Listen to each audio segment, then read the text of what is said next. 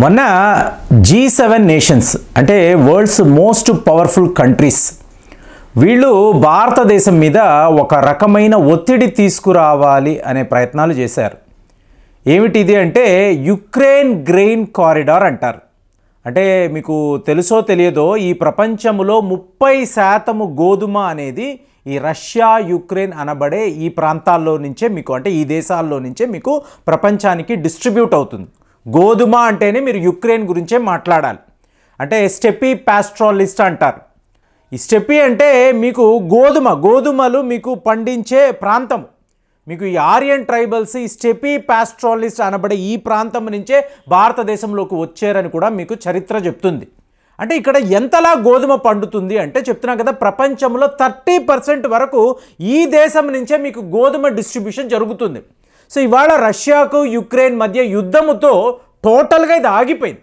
ఈ ఆగిపోవడం ఆగిపోవడం ఇవాళ ప్రపంచ స్థాయిలో మీరు చూసారనుకోండి ఏకంగా నలభై ఏడు మిలియన్ ఎనభై ఏడు మిలియన్ అండి. మిలియన్ ప్రజలు మీకు గోధుమ లేకుండా మీకు ఈ ఆకలితో మలమలలాడిపోతున్నారు అని చెప్పి ఒక డేటా. సో అలాంటప్పుడు ఆటోమేటిక్గా యునైటెడ్ నేషన్స్ ఏం చేస్తుంది? ఏదో ఒక విధంగా ఈ యుక్రెయిన్లో ఈ స్టెపీ పాస్ట్రాలిస్ట్ నుంచి మీకు ఇలా గోధుమను ఈ దేశాలకు పంపించాలని చెప్పి వాళ్ళు ఆలోచిస్తారు. సో పోయిన జూలై నెల వీళ్ళు రష్యాతో మాట్లాడారు. ఎవరు? United Nations Black Sea grain initiative అంటారు. దీన్నే యుక్రెయిన్ గ్రెయిన్ కారిడార్ అని కూడా అంటారు. సో ఇప్పుడు ఇలాగైతే కష్టము కదా యుక్రెయిన్ నుంచే కదా యుక్రెయిన్ని bread basket of the Europe అని మాట్లాడతాం కదా యుక్రెయిన్ నుంచి గోధుమలు ఈ దేశాలకు వెళ్ళకపోతే ఎంత పెద్ద సమస్య? ప్రజలు ఆకలి ఆకలి చావులను మళ్ళీ మనం చూడాలి అంటే రష్యా వాళ్ళు కూడా ఇమీడియట్గా ఒప్పుకున్నారు. ఒప్పుకున్న తర్వాత చూడండి నైన్ పాయింట్ ఎయిట్ మిలియన్ టన్నులు గోధుమ అనేది విదేశాలకు మీకు ఎక్స్పోర్ట్స్ చేయబడ్డాయి. ఎక్కడ? ఈ బ్లాక్ సీ అనబడే ఈ సముద్ర జలాల నుంచి. మీకు గుర్తుందో లేదో నేను ఒకసారి మాట్లాడాను. పుతిన్ ఏం ప్రూవ్ చేశాడంటే యుక్రెయిన్ నుంచి దగ్గర దగ్గర ఎనభై ఓడలు ఈ గోధుమలను తీసుకున్న కార్గో షిప్స్ వెళ్ళాయి. వీళ్ళేం మాట్లాడారు? యునైటెడ్ నేషన్స్ వాళ్ళు ఆఫ్రికా దేశాలు మిడిల్ ఈస్ట్ దేశాలు వీళ్ళందరూ గోధుమ లేకుండా ఇబ్బంది పడుతున్నారు కదా వాళ్ళకి పంపిస్తామన్నారు. కానీ ఇందులో మీకు డెబ్బై దాకా డెబ్బై దాకా ఈ గోధుమ కార్గో షిప్పులు నేరుగా మీకు యూరోపే వెళ్ళింది. అంటే అమెరికా యూరోప్ దేశాలకే వెళ్ళాయి. ఇక్కడ నేను ఏం చెప్పదలుచుకున్నాను అంటే ఇదంతా ఒక నాటకం అండి. అంటే ఇవాళ ఇండియాను కూడా ఇరికించాలనే ప్రయత్నాలు వీళ్ళు చేస్తున్నారు అంటే నిజాయితీ అంటాం కదా చిత్తశుద్ధి లేని శివ పూజలు ఎందుకు అదే మీకు ఈ అమెరికా ఈ నాటో దేశాలు యూరోపియన్ వీళ్ళందరూ ఇలాంటి వాళ్ళే. సో ఇవాళ వీళ్ళు ఏమంటున్నారు అంటే జూలైలో మేము ఇలాంటి ఒక ఇనిషియేటివ్ తీసుకొచ్చాము. రష్యా వాళ్ళు ఒప్పుకున్నారు యుక్రెయిన్ వాళ్ళు కూడా ఒప్పుకున్నారు. కానీ అక్టోబర్ నెల మీరు చూసారనుకోండి ఇదే బ్లాక్ సీ దగ్గర రష్యాకు సంబంధించిన ఓడల మీద అంటే ఇటు యుద్ధ నౌకల మీద మీకు యుక్రెయిన్ వాళ్ళు డ్రోన్ దాడులు చేశారు. చేసిన నెక్స్ట్ డే రష్యా వాళ్ళు మేము ఈ డీల్ని క్యాన్సిల్ చేస్తున్నాము. ఏంటి? యుక్రెయిన్ గ్రెయిన్ ఇనిషియేటివ్ అనబడే ఈ ప్రాజెక్ట్లో మేము ఇక మీద పాల్గొనము మేము ఒప్పుకోము ఇది యుద్ధమే అని చెప్పి రష్యా వాళ్ళు చెప్పారు. మళ్ళీ మొత్తము కూడా మీకు ఆగిపోయింది. బాబాయ్ చూసారా రష్యా వాళ్ళు ఎలాంటి వాళ్ళు? ప్రపంచంలో ప్రజలు ఇంతలాగా గోధుమ లేకుండా కష్టపడుతూ ఉంటే రష్యా వాళ్ళకి ఎటువంటి కనీకరము లేదు. ఫుడ్ సెక్యూరిటీ ప్రాబ్లం వస్తుంది. మీకు ఇక మీద గ్లోబల్గా ఈ ఫుడ్ ఇన్ఫ్లేషన్ అనేది వస్తుంది. ఇలాగ ప్రచారం చేశారు. చేసింది ఎవరు? ఈ డ్రోన్ దాడులు ఎవరండి చేశారు? యుక్రెయిన్ వాడు చేశాడు. ఎవరి సపోర్ట్తో? అమెరికా నాటో సపోర్ట్తో. కానీ ఏం మాట్లాడతాడు? రష్యా వాళ్ళే ఇలా చేస్తున్నారు. సరేరా ఇప్పుడు ఆఫ్రికా దేశాలకు నువ్వు గోధుమ పంపించావా? లేదు. మొత్తము తీసుకువెళ్ళి నువ్వు నీ యూరోప్లో నింపుకున్నావు. ఇప్పుడు చూడండి విన్స్టన్ చర్చిల్ మనము వెస్ట్ బెంగాల్ ఫెమెన్ గురించి మాట్లాడతాం. ఇదే కదండి జరిగింది. మీకు యునైటెడ్ కింగ్డమ్లో మీకు ధాన్యాలు లేవు గోధుమ లేదు అన్నప్పుడు వాడు ఏం చేశాడు? కల్కట్టాలో ఉండే గోధుమ వేర్ హౌస్లో ఉన్న మొత్తము ధాన్యాలను యునైటెడ్ కింగ్డమ్ తరలించాడు. ఇక్కడ మన ప్రజలు లక్షల మంది ముప్పై లక్షలు ముప్పై ఐదు లక్షల మంది మీకు ఆహారము లేకుండా ఆ ఫోటోలు మీకు పెట్టినప్పుడు అప్పుడు యూట్యూబ్ వాళ్ళు కూడా ఆపేశారు.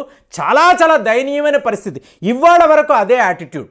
కాబట్టి ఇవాళ వీళ్ళు ఇండియాని ఏమంటున్నారు? చూశారు కదా రష్యా వాళ్ళు ఎలా ప్రవర్తిస్తున్నారు. కాబట్టి ఈ యుక్రెయిన్ గ్రెయిన్ ఇనిషియేటివ్ అనబడే ఈ ప్రాజెక్టులో మీరు కూడా పాలు పంచుకోవాలి. అంటే ఏంటి? మన దేశంలో ఉండే గోధుమను మీరు యుక్రెయిన్ దాకా పంపించాలి. అక్కడి నుంచి మీరు విదేశాలకు ఏ ఏ దేశాలకు అవసరం ఉందో వాళ్ళకి పంపించవచ్చు కదా. మీ దేశంలో మీకు గోధుమ ఎక్కువే ఉంది కదా అంటే మరి మీరు అనొచ్చు. ఇండియా పని చేయొచ్చు కదా అంటే ఇండియాలో పరిస్థితి ఏంటో చెప్పమంటారా? మనము హయ్యెస్ట్ లెవెల్లో గోధుమ వాడతామండి. రోటీలు చపాతీలు ఇలాగ బిస్కెట్లు ఎన్నో రకాలుగా మన గోధుమను వాడతాం. కాబట్టి ఎప్పుడు కూడా ఈ గోధుమను విదేశాలకు పంపించాం.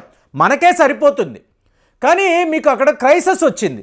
కాబట్టి మనం ఏంటంటే టోటల్గా ఈ గోధుమ ఎక్స్పోర్ట్స్ అనే దాన్ని బ్యాన్ చేసాం కానీ గవర్నమెంట్ టు గవర్నమెంట్ ఒక దేశానికి కావాలి.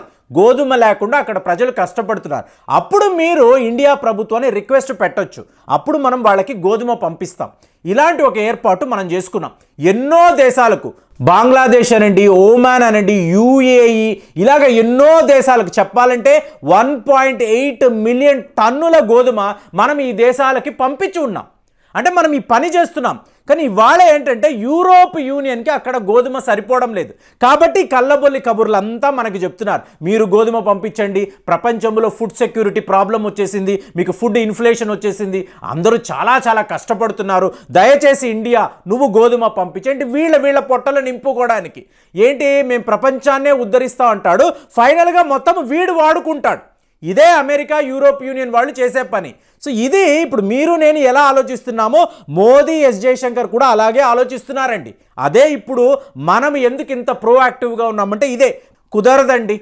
యుక్రెయిన్ గ్రెయిన్ ఇనిషియేటివ్లో ఇండియా లేనే లేదు. క్లియర్గా మనం చెప్పేశాం. అదేంటి ఇలా అంటున్నారు? ప్రపంచమే కష్టపడుతుంది. ఆ కష్టపడుతుందా? మా చుట్టుపక్కల ఉన్న దేశాలు సౌత్ టు సౌత్ అంటున్నాం. ఇప్పుడు సౌత్లో ఉండే దేశాలు డెవలపింగ్ కంట్రీస్ ఆఫ్రికా దేశాలకు మేము డైరెక్ట్గా పంపించుకుంటాము. మొన్న ఈజిప్ట్కి పంపించాము యూఏఈకి పంపించాము ఓమాన్కి పంపించాము బంగ్లాదేశ్ వీళ్ళందరికీ పంపించాము కదా. మాకు తెలియదా ఎవరికి ఎంత అవసరాలు ఉన్నాయి ఎంత గోధుమ పంపించాలి? మీరెవరు మాకు చెప్పడానికి? మీరు చెప్పింది మేము విననే వినము. కాబట్టి యుక్రెయిన్కి మేము గోధుమలు పంపించడము అక్కడ నుంచి మీరేవో ఎక్స్పోర్ట్స్ చేయడము ఇవన్నీ మాకొద్దు. మేము ఎవరికి పంపాలో మాకు బాగా తెలుసు. ఆ ఆ పనే మేము చేస్తున్నాము. యునైటెడ్ నేషన్స్ వాళ్ళు చెప్పినప్పుడు కూడా పలానా దేశానికి అవసరం అన్నప్పుడు గవర్నమెంట్ టు గవర్నమెంట్ వాళ్ళు మాకు రిక్వెస్ట్ పెడితే మేము చేస్తాం. అంతేగాని G seven nations powerful countries మేము చెప్తున్నాము మీరు వినండి అంటే అలా వినే రోజులు ఎప్పుడో వెళ్ళిపోయాయి. మీరు మమ్మల్ని లొంగదీయలేరు. మేము చేసే పనులే మేము చేస్తామని చెప్పి క్లియర్గా మినిస్ట్రీ ఆఫ్ ఎక్స్టర్నల్ అఫైర్స్ మీకు వాళ్ళ స్పోక్స్ పర్సన్ మీకు ఆనందం బాచి క్లియర్గా చెప్పేశాడు. కాబట్టి ఇలాగ ఈ బ్లాక్మెయిలింగ్ యాటిట్యూడ్ మేము చాలా బలమైన వాళ్ళము మీరు ఇప్పుడిప్పుడే ఎదుగుతున్నారు ఈ కళ్ళబొల్లి కబుర్లు మనకు వద్దండి. కాబట్టి ఇండియా నుంచి గోధుమ అనేది యుక్రెయిన్ గ్రెయిన్ ఇనిషియేటివ్కి ఇక మీదట వెళ్ళదు వెళ్ళే అవకాశమే లేదు. సో దీన్ని భారతీయులు గుర్తించాలి. కాబట్టి ఇలాగ మన మీద ఒత్తిడి తీసుకొచ్చినప్పుడు మన స్పందన ఒకప్పుడు ఇలా ఉండేది కాదండి. ఇవాళ మనం క్లియర్గా చెప్తున్నాం. డేటాతో ప్రూవ్ చేస్తున్నాం. మేము మీరు చెప్పినట్టు వినాల్సిన అవసరమే లేదు. మా ఇంట్రెస్ట్ కొద్దీ మా అవసరాల కొద్దీ మా మిత్ర దేశాల కొద్దీ మేము ఈ పనులు చేస్తామని చెప్పాము. కాబట్టి మీరు ఆలోచించండి. ఇట్లాంటి ఒక ప్రోయాక్టివ్ మెజర్ ఇలాంటి ధైర్యంగా మనం జీ సెవెన్ నేషన్స్ని కూడా ఎదిరించి మేము మీరు చెప్పింది వినమని అనడము చాలా గొప్పగా అనిపిస్తుంది. కాబట్టి మీరు ఆలోచించండి. ఆలోచించి ఇలాంటి ఒక నిర్ణయం మీద అసలు మీ స్పందన ఎలా ఉందో తెలియజేయండి. మళ్ళీ వచ్చే వీడియోలో కలుద్దాం. జై హింద్.